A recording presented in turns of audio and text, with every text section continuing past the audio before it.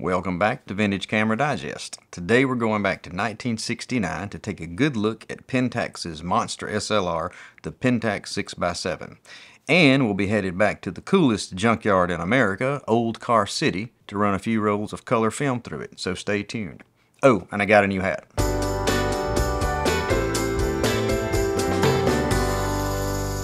Yeah, I thought it was about time to mix up my hat game a bit, and this classic Newport seems perfect for summer and discussing film cameras. And with that being said, we are gathered here today to talk about this beast, the Pentax 6x7. Now, as far back as the early 1960s, Asahi Pentax was formulating plans for a 6x7 format SLR. But development issues delayed production until Photokina 1966, when they unveiled a prototype they called the Pentax 220. 220 film had only been around for about a year prior to this, so the name is almost certainly a nod to the fact that this camera was capable of shooting the new film. Fast forward three years, and the camera was finally ready for production under a new name, the Pentax 6x7. Not a unique or catchy name, but straightforward and utilitarian in its description. And this would be the first SLR that used the ideal format of 6x7. Now, 6x7 cameras weren't new. The Koni-Omega series of rangefinders had been shooting this format at least a decade prior. But Pentax was the first to market with an SLR to support this format beating the Mamiya RB67 by only a year. And both of these companies chose radically different designs for their cameras. Where the RB67 resembled an oversized Hasselblad, the Pentax had a design more in common with their 35mm Spotmatic. And they reasoned that this familiar form factor would help 35mm users make the jump to medium format more easily. Since this was a rectangular format and not square, you also had to find a way to deal with the issue of shooting vertically. With the standard 6x6 SLR design, there was no vertical, or horizontal for that matter, just one option. So designing the 6x7 to be similar to a 35 just meant that vertical shots could be achieved simply by rotating the camera. Personally, I think this was a good move. Medium format cameras that shoot anything other than square format require a bit more effort to shoot in vertical orientation. The Mamiya RB67 solved this by using a revolving back. However, other cameras like the Mamiya 645 are rather unwieldy to shoot in vertical mode unless you have an added right hand grip. As a side note, some of the old folding cameras that shot the 645 format like the Zenobia R from a few episodes ago, shoot vertical as the native format. So shooting horizontal then creates the same issue. But before we get too far in, let's revisit that notion of the ideal format that I mentioned just a little bit ago. What exactly does that mean? Well, long story short, it means that you won't need to crop the negative much at all to make an 8x10 size print. Square format which is usually associated with medium format cameras, requires a significant amount of cropping to make an 8x10. If you're like me, you like to compose the image in camera to the best of your ability. Use the whole frame. So I don't want to have to crop out big chunks of my composition to fit a preset print size. Luckily, today we have more options for print size, but what if we want to frame our work? Well, we're back to the same problem. What 6x7 ideal format negatives do, though, is minimize the cropping necessary when making some standard enlargements. Moving on. The Pentax 6x7 series was produced from 1969 to 2009, and when it was released in 69, it had an entire system of lenses, prisms, both plain and metered, viewfinders, and other accessories immediately available, and it was aimed directly at the professional market. The earliest I can find an ad for the system in the US was 1972, a full three years after its debut, and it's definitely leaning into its size and weight like it's a good thing. Well, it was the 70s after all, and Americans really loved our stuff big. The ad reads The Honeywell Pentax 6x7 is a real heavyweight about 7 by 6 by 5 inches, and it weighs in at about 5 pounds 4 ounces with standard lens and pentaprism. And yet, this scaled up 35 design is so well balanced that your grandmother could handle it at eye level. Well, I don't know about that, but I do like how they make no apology in the price. The price is hefty too, about $900, but well worth it. Now, I'm going to save you the trouble of trying to figure out how much that would be in today's money. Adjusting for inflation, that's about $6,700 US, and most definitely aimed at the pro market. Anyway, it's an interesting ad. I've got it on the Vintage Camera Digest website, so I'll leave a link to it in the description in case you want to check it out. But over its 40 years of production, the Pentax 6x7 series went through four different versions. The original 6x7 didn't include a provision for mirror lockup, and since the mirror slap on this thing isn't insignificant, it could negatively impact sharpness when using slower shutter speeds. So in 1976, the camera was improved and the mirror lockup feature was added, and that's what I have here. The camera was updated again in 1989 and was renamed the Pentax 67.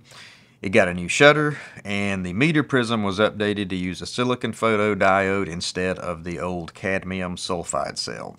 Externally, though, the 67 was pretty much the same except for the new Pentax logo on the prism. In 1998, though, the Pentax 67 II was released, and it was pretty much an entire redesign. It was similar in size and shape, but everything was updated with new technology. Luckily, all the lenses will fit any of these versions. And speaking of lenses, that's really what I consider a major selling point for this system. Over the 40 years of production, Pentax would release over 55 different lenses for this series, most of them at f4 or faster. And that includes an 800mm f4, which has got to be one of the fastest super telephoto lenses ever made for any format. The lenses I have in my kit are the 55mm f4, the 90mm 2.8 leaf shutter, the 135mm f4 macro, and a 150mm 2.8. The standard lens for the system is the 105 2.4, and it's highly regarded as one of the system's best lenses. I, however, don't have the 105. I have the 90, and I'd say that it's still more or less standard focal length for the 6x7 format, maybe a little wide, but it gives me the option of flash synchronization up to 1 500th of a second. But that's not the real reason I bought it. The real reason is because I saw it listed for about $30, and this was years before I even had the camera. Because, you know, some deals you can't pass up for any reason. You know that's right. And while we're on the topic of lenses, I want to point out the stop down lever. The camera itself doesn't have one, so it's included on the lens. In normal mode, it's usually set to auto position, but sliding the switch counterclockwise will stop it down to the taking aperture. If you want to lock it in stop down mode, lift up on it slightly while sliding and it will lock in place. When you're done, just press it down and it'll snap back into place.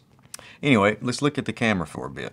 Up on the top left shoulder is the shutter dial with speeds from 1 to 1 one thousandth of a second, plus B and X for using flash. And let me add right here that the flash sync speed of the focal plane shutter is a measly 1 30th of a second. So if I have to deduct any points from this system, that's going to be the first one.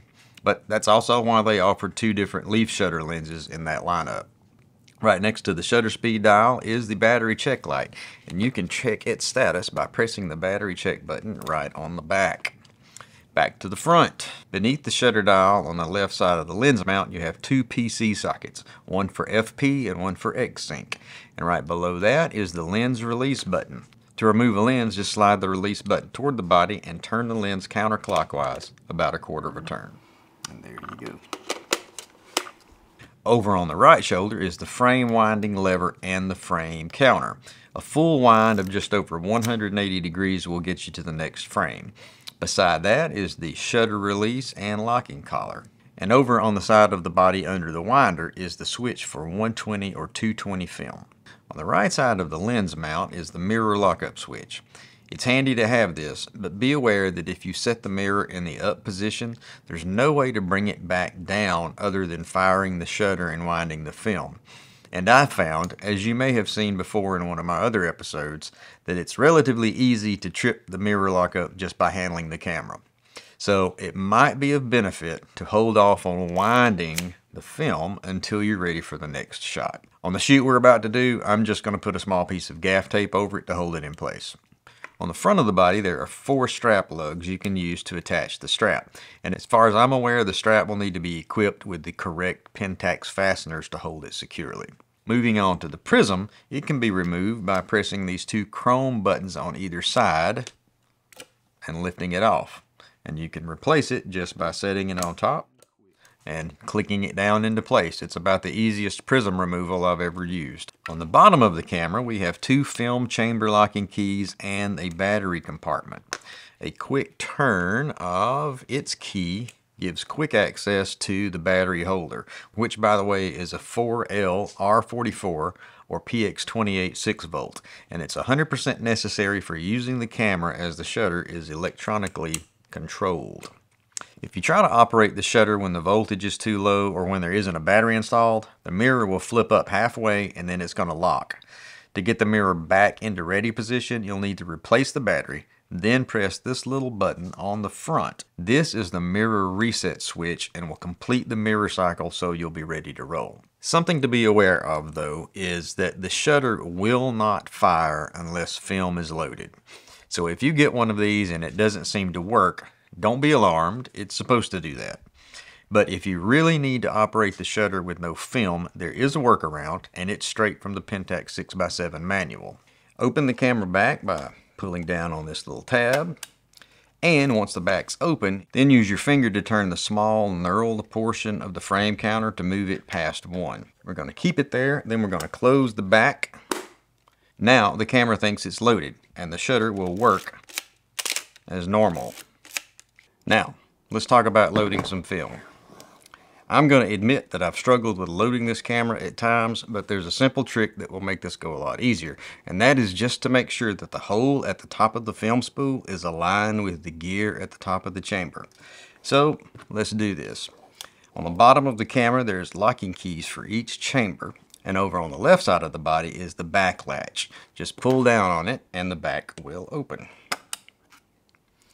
Also going to take this locking key, I'm going to rotate it to unlock and pull down on it so we can put the new film in. When loading film, I'd recommend not removing the film tape until you get the film in place, but once it's in place and the bottom key is locked in place, go ahead and remove it. First, we're going to make sure that this is in the same position as that. So once we have removed the tape, we're going to pull leader over to the take-up spool. It doesn't pull easy, but pull a little bit more than you normally would and insert into the take-up spool and wind the film so that the arrow lines up with the correct start mark. And in this case, it's going to be 120.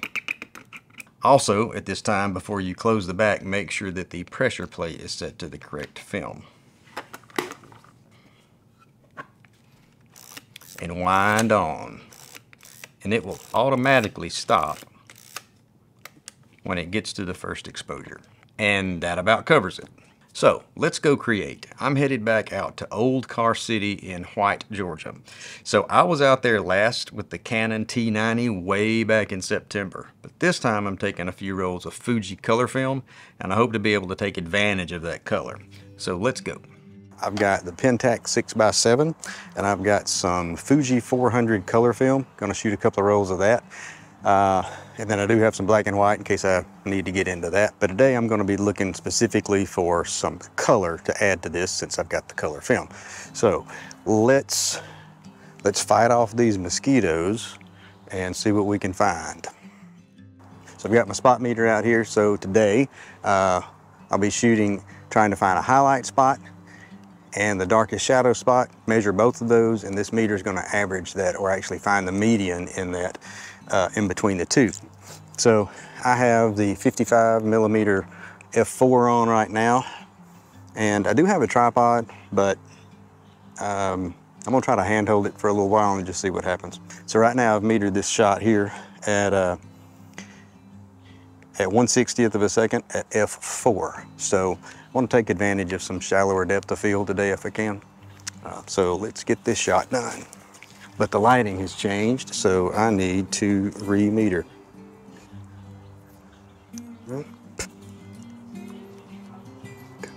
Let's wait on the sun because I really need that uh, extra stop. Because right now it's telling me 1 60th of a second at f2.8 and I need to get the sun back out here or I could just put it on the tripod and be done with it. That's probably what I should do. Put it on the tripod and then I won't have to worry about it. I think my luck has been okay in the past hand holding this monster. But it's not going to be at one thirtieth of a second.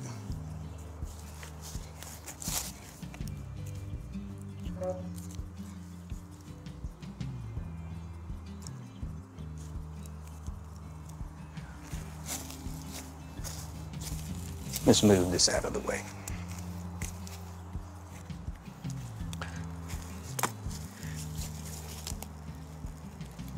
Also going to put a cable release in here.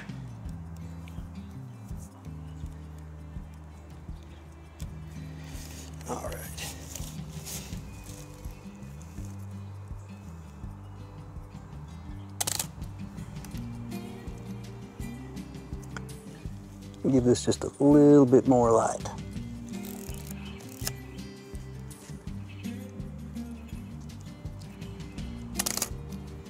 All right, so that was 1 30th of a second and one at 1 15th of a second. All right, let's go find another spot. So got a little shot lined up through here. Got the, uh, the front grill of both of these cars in the shot. And since I've got shooting down, I want to create a little bit more depth of field. So let's just see what I can get metered up here. So the highlight spot here is obviously this headlight.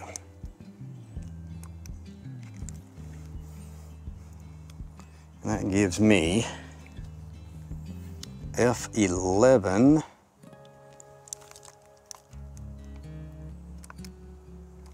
gives me F16 at 1 15th of a second.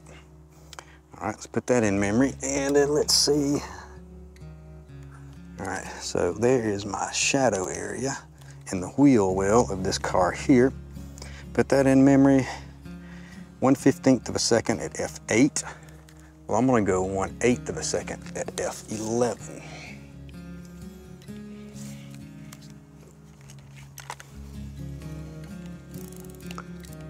Wound up.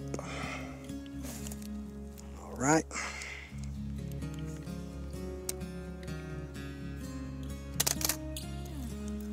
All right, that's good. So the last time I was out here, I found one of these over on the other side of the uh, property. It's a Borgward, which is a German car. I had never seen one before. But I'm also looking for hood ornaments today. So may put the 135 F4 on and uh, see what I can get. so now that I got it framed up, let's get a reading. Let's make sure I clear all my memory. All right, so I've got a couple of highlight spots. Like the chrome, definitely. So I get F16 on a highlight. Let's save that. So where is my shadow side? Right here in the grill. All right, 1 15th of a second at F8. I'm gonna go 130 at 5.6 because I don't want super deep depth of field. Got a 5.6. Right.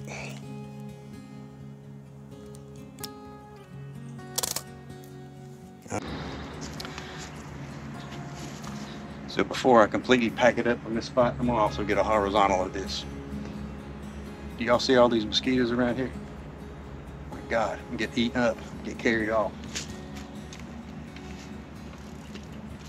It's Wine. So same exposure as before.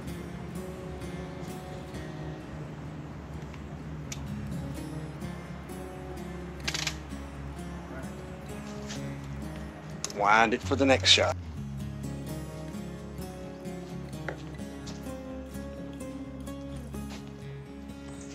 Last time I was out here, there were some places that I didn't get to that I had remembered I had been to before. Not exactly sure where or how I found it before.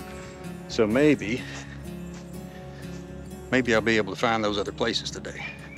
So for this shot, I'm having, I'm getting a little bit of the hood of this truck in the shot, but I'm really focused on that nice turquoise color Ford V8 in the back. I'm not sure if that was the original color, but that's what it is now. So the sun has come back out just a bit. I'm gonna go with a slightly deeper depth of field this time. Let's clear the memory. All right, so I gotta find my highlight spot.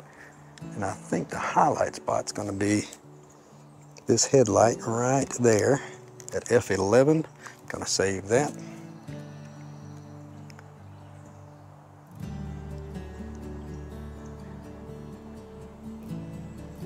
All right. And let's look at, this is not actually in the frame, but it is in the same light. 5.6 at 30. I want to go to 11. That's gonna give me 1 8th of a second at F11. Let's make sure I have the aperture set correctly. 11, 1 8th of a second. Wind the film and sun's gone back behind the cloud. Recheck.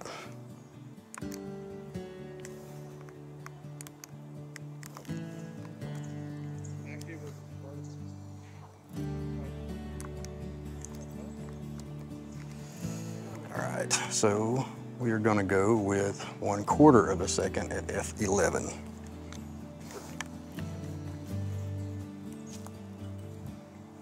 All right.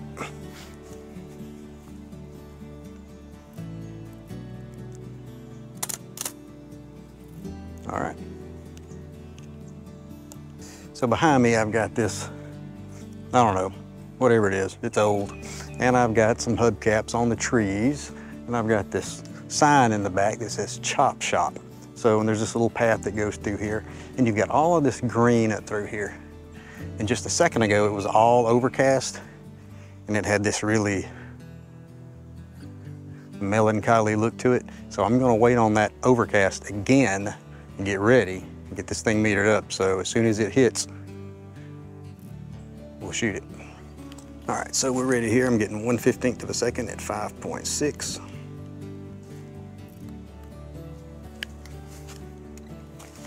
Let's get it before the sun comes out again. Now let's do one where we have a deeper depth of field, like F11, which is gonna be one quarter of a second at F11.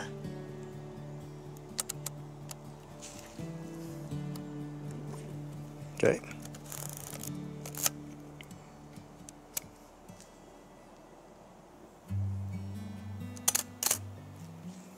All right. All right, before I move on, I'm gonna get the front of this at an angle and get some of the hubcaps and the trees in the back. I've got two more shots on this roll of film. So we'll finish this roll up right here. All right, so highlight area, 16 and a half. Save it. Shadow area, 2.0, save it. So I'm looking at five, six and a half at 1 30th of a second. Let's go F8 at 1 15th of a second.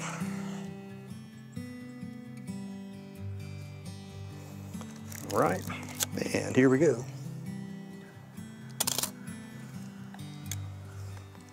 Let's meter that one more time. The sun's sort of changing as we go here. Still got the same highlight, memory, shadow. All right, so F8 at 30, F8 and a half at 30. Let's go F11 at 15th of a second.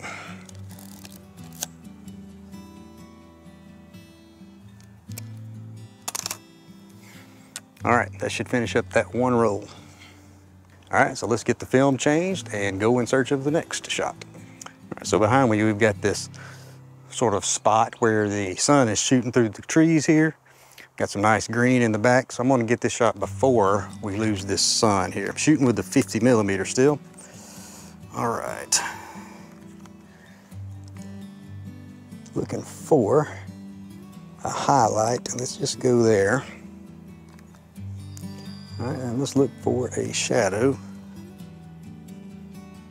Let's go there. 30 at f8. Or let's go 160 at 5.6. Good deal. I guess the mosquitoes have gotten all my blood because they sort of left me alone right now. If I'm looking a little pale, let me know. So here we have a junked Ford Pinto with a cat on top, looking like exactly that's where that cat needs to be. So here's a shot. All right, so there's my highlight. Let's see, there is my shadow. It gives me 1 30th of a second at eight and a half. I want shallow depth of field. So I've got 1 120th of a second at f4, which is what I'm gonna be going for. Right.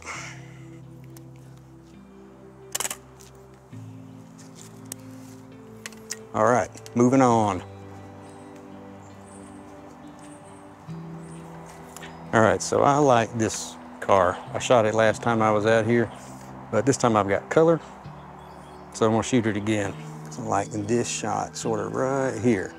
Now, the 50 won't be this wide and impressive, but we're gonna see what we can get. All right, so as before, we got the sun going in, moving in and out. If I shoot it with the sun, it's a little bit brighter than I think I want it to be. But let's see. All right, so there's me a highlight. Shadow. That gives me 120 at 5.6. I want, uh, that's fine. Let's go with 120 at 5.6.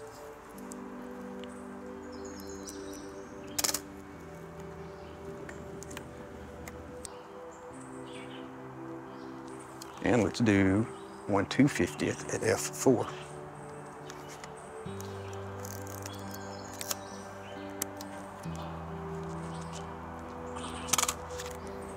All right, we'll see.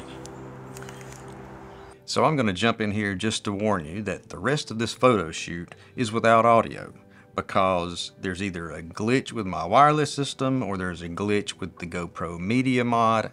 I don't know. But anyway, so I'm just going to play some nice relaxing music, maybe put a couple of sound effects for the shutter in there so it looks like we're doing something.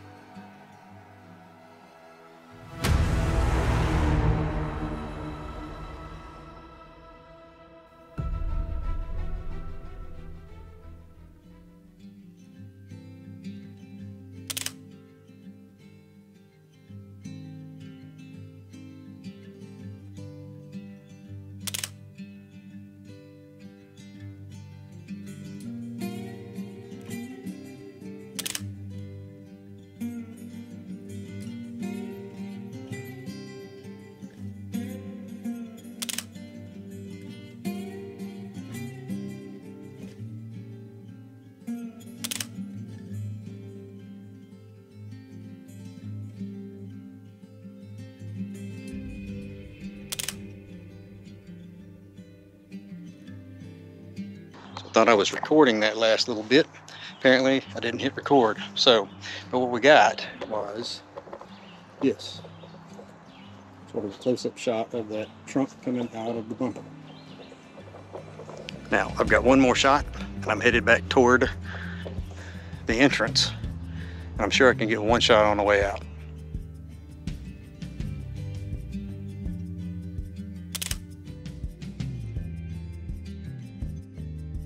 That was an eventful shoot. I got stung by bees, nearly carried away by mosquitoes, and I proved once again that I've got to work out some kinks in capturing audio in the field. In any case, I hope you enjoyed a relaxing shoot without having to hear me babble on about everything.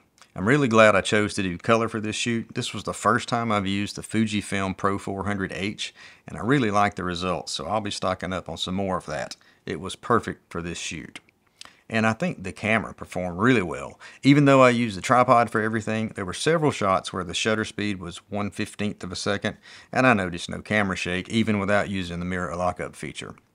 But again, if I have to deduct any points from this system, in addition to the slow flash sync speed of 1 30th of a second, I'll also add that some of the lenses don't allow for very close focusing distance. Well, specifically the 150. That would be the ideal length for portraiture, but the minimum focusing distance is only 5 feet or about 1.5 meters. So if you really want to get close to your subject, you'll probably want to pick up the 135mm f4 macro because it'll focus down to 2.5 feet or about 3 quarters of a meter. But there's also extension tube set if you need to get closer than that, and Pentax also released a set of close-up filters as well. And speaking of accessories, one iconic piece of this system that I haven't mentioned is the left-hand wood grip. I don't have that obviously, but people who do say that it really does improve the handling, even though it's not really that bad without it. If you're really interested in this system though, in addition to that old advertisement I mentioned earlier, I've got a copy of an early sales brochure on the website that you can download for free to take a look. I'll leave that link in the description as well. Summing it all up, I really, really enjoy shooting with the Pentax 6x7. It's big, it's heavy, but it's awesome. And I will happily lug this thing around anywhere, and maybe my grandmother would have too. I'll see you next time.